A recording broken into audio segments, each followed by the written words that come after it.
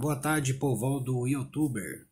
Hoje eu vou mostrar para vocês. Hoje eu estou fazendo uma manutenção, uma limpeza numa CPU Lenovo, né? CPU Lenovo, né? Core 7. Veja só a sujeira que tá dentro dessa CPU.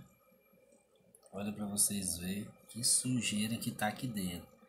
Aí depois eu vou eu vou mostrar um, um vídeo, né? Deu dando grau nessa, até que ela vai ficar zero, vai ficar limpinha.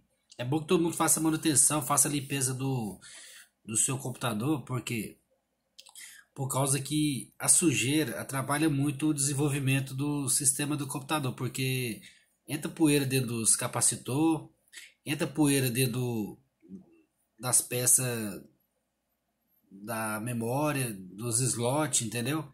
Então é bom que todo mundo faça a limpeza, dá um grau mesmo. Aí eu aconselho vocês pegar um pincel grande com bem macio, né? E, e começar a fazer assim, é, limpando ele assim, né? Grau das memórias, né? E depois você vem com um secador de cabelo assoprando eles, aí fica zero. Eu vou fazer o vídeo depois, vou postar para vocês aí.